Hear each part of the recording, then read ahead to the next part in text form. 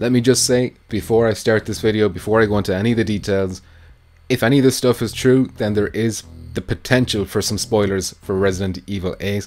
If you don't want any of that, there's also spoilers for maybe Resident Evil 7 as well if you haven't finished that game yet. Look away if you don't want to be spoiled for Resident Evil 8, even though I don't think there's anything here that will... I think it's more stuff that raises questions about Resident Evil 8 rather than spoils things, in my personal opinion. However, if you want to go in completely clean, then you know, don't watch this video. Okay, that's the disclaimer, out of the way, gone. Hey there lads and ladies, it is Petrifying Pumpkins here, and welcome back to the channel once again. Today I want to talk about some more Resident Evil 8 rumors. We had a couple of these a few months ago. Apparently there's been a new wave of testing, so these people who are testing, they're in this thing called the Ambassador Program for Capcom. Allegedly, they've been coming, they've been leaking information to websites like this, these ones I'm going to talk about now in a second, and they've been just further leaking more details that we want to know about Resident Evil 8, which fingers crossed will have PSVR support of some kind. So the first website I want to talk about is called biohazarddeclassified.com. Now these guys are basically just a fan site for Resident Evil, so they're not exactly, you know, an official authority when it comes to these things. Having said that, people playing these games, people playing these demos and secretly have been allegedly leaking emails to these guys so that they can make articles about them. So I'm just going to scroll down here. And according to the author here, who was named as Derek, according to him, they've been getting emails. He classifies this as highly plausible. The first thing to note is the title. So the previous leak did say that it would be Resident Evil 8, but that the 8 wouldn't be there. It would be a clever title.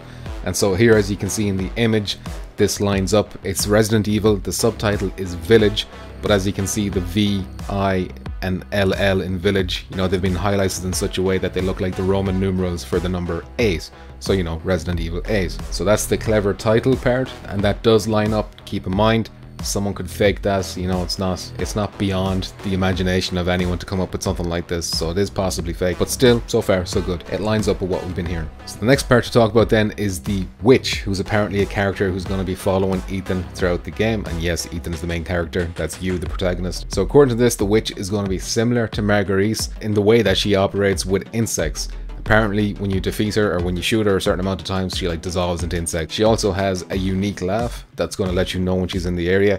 So I'm really excited to see what this kind of, I feel like this witch could be, you know, a really terrifying presence, especially in virtual reality. Marguerite was easily the scariest part for me of Resident Evil 7. Uh, so I hope the witch is like an even more intense Marguerite that kind of haunts you for a longer period of the game rather than that just one specific area that Marguerite was in. So the next part that the leaker wants to talk about is Chris. So yeah, basically Chris Redfield been in the Resident Evil series throughout, you know, many entries. One, he was in five, he was probably in some others as well. He was in seven at the end, obviously, the DLC as well. He, he made an appearance there too. And according to the leaker, he's going to play an integral part in 8. He appears in flashbacks surrounding Ethan, Mia, and apparently their baby. So of course, Ethan and Mia, two big characters in Resident Evil 7. Ethan escaped. There was two possible endings. One where you escape with Mia, or one where she dies.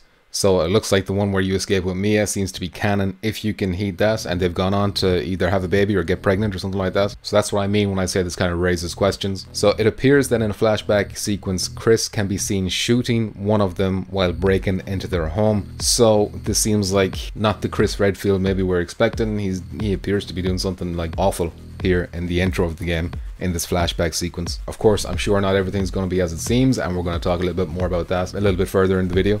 So some other details is that the game will take place in a European setting, which of course the previous leaks also suggested that was the case. It was going to feel have like a, Resident Evil 4 feel, which of course was took place somewhere in Spain. Also, as of this time, it appears the first person's perspective will be returning.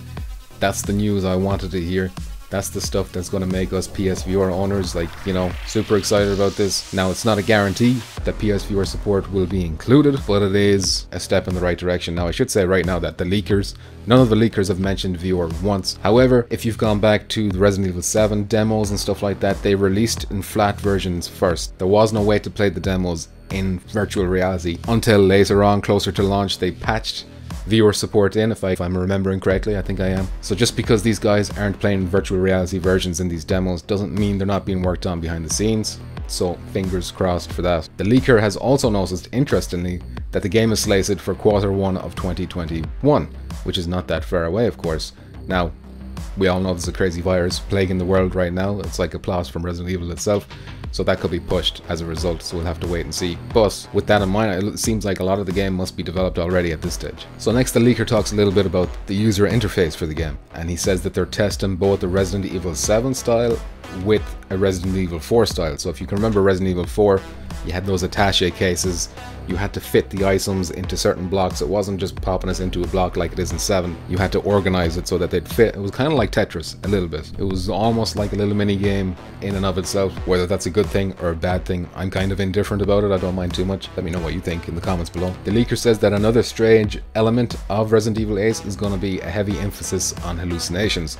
Now this hallucination stuff was taken from Resident Evil 3.5. If you don't know what Resident Evil 3.5 is, Basically, before Resident Evil 4 came out, there was a bunch of demos and a bunch of like concepts and stuff like that that were basically a different game to what Resident Evil 4 turned out to be. Resident Evil 4 became more, much more action packed, had a different look to it. Like Resident Evil 3.5 had a lot of stuff in it that never made it into 4 and basically hallucinations seem to be one of those things and now they're bringing them back. So these hallucinations will likely make it hard for you to discern what's real and what isn't and more importantly, who to trust. So they're going to have like huge story implications. If you take the hallucinations in mind, take it back to the flashback that apparently Ethan gets of Chris breaking into his home and shooting, then you can kind of see that that's probably not going to be the case. I'm sure Chris is still going to be a good guy. He's not going to just become evil. I'm sure the hallucinations or whatever's causing the hallucinations will will be responsible for that if I had to speculate. So next I want to move on over to relyonhorror.com.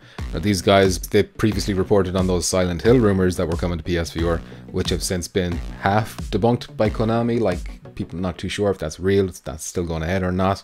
Konami maybe weren't going to confirm it anyway. But a lot of what Rely on Horror are getting kind of backs up what Biohazard um, Declassified are saying. They kind of work together, if you know what I mean, to make a bigger picture. Plus, this was retweeted by a user on Twitter called Nibel.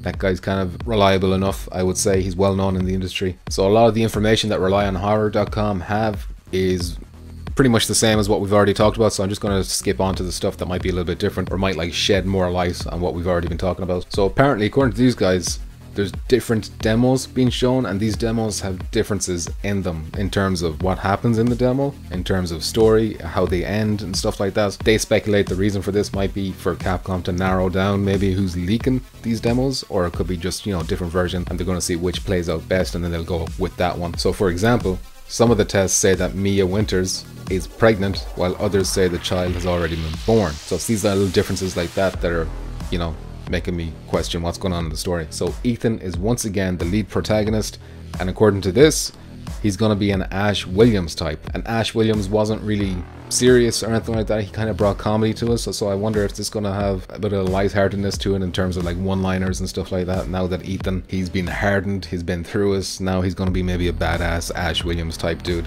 We'll have to wait and see. So you might remember with the earlier leaks that there was talk of wolves creatures or werewolves. And according to this, the wolf-life creatures reported in earlier leaks have been described as something akin to beast men. And that in one version of the demo, there's an escape sequence where your your weapons are you either don't have weapons or the weapons you have are completely ineffective against them, so you're forced to run and hide. According to the leaker, these beast men, the shotgun is more effective towards them, but they are somewhat bullet spongy, so perhaps we'll be doing more running than actually fighting these guys in the interest of saving, you know, our resources and stuff like that. So again, the game is massively inspired by a combination of Resident Evil 4 and the much beloved Resident Evil 3.5. The game has an obvious focus on something more supernatural and this guy speculates that it's going to be due to viral induced hallucinations and that all kind of lines up. So they can go crazy with their werewolves, they can go crazy with witches and all this kind of stuff, and at the end of the day, it's just a virus fucking with your head. So the leaders of these beastmen appear to be a stalker type woman that resembles a witch who haunts Ethan during the demo and a massive gorilla-like monster man with chains and a staff. So I'm kind of visualizing something very similar to Resident Evil 4 where the villagers were just like, you know, they had like, it felt like a cult. It was very cultish. Uh, apparently these guys got leaders, the witch and the gorilla man with the staff. These kind of sound like cult leaders to me maybe. I'm sure when the virus wears off and the hallucinations drop off, they're probably just normal humans, if I had to guess. So at the bottom of the article then it says, of course, it's recommended that you continue to take all this information with a grain of salt I recommend we all do that now as well. Although the dead-on similarities between all reports including one from a leaker who gave us good reason to trust completely, seems to indicate otherwise. There you have us, you know, we're starting to see a bit more light being shed on the new Resident Evil 8. The big question now is, is this going to have PSVR support? We know it's kind of continuing from Resident Evil 7. Resident Evil 7, of course, did have VR support and it was kind of successful. From all the reports we've been hearing, it sounded like Capcom were happy with the number of people who played that game in virtual reality. We know now, if these rumors are to be believed, that Resident Evil 8 is going to continue on the first person perspective. And if you ask me, that means that VR is more likely. Personally speaking, first person makes a lot more sense for a horror game than third person. So like people thinking Resident Evil 2 remake, Resident Evil 3 remake, that maybe Capcom have abandoned virtual reality because that's not in those games. I just think that virtual reality wouldn't have fit those games in third person as well as it would have first person. And you want to build your game around that, not just slap it in and have it be, you know, shy. So that's it for this video, lads and ladies. Thank you for watching. But before I go, let me give a huge thank you to my Patreon supporters whose names are on the screen now. Thanks to their support, I can dedicate more time to this channel. And also let me give a particularly huge shout out to Pete Hawkins, Crumb, Tradition, and Columbus Thomas III for their support on the top tier of Patreon. If you want to support over on Patreon too, the link will be in the description below. But if you don't want to do that, I will just as happily accept likes and subscribes and shares and all that good stuff. One last thing before I go, go check out Dicepticon.com. Thank you very much for letting me use your music in all my videos. So go check him out over on in the link below in the description or over on Spotify or whatever it is you listen on. That is it for this video. I'll see you in the next one. Stay moist.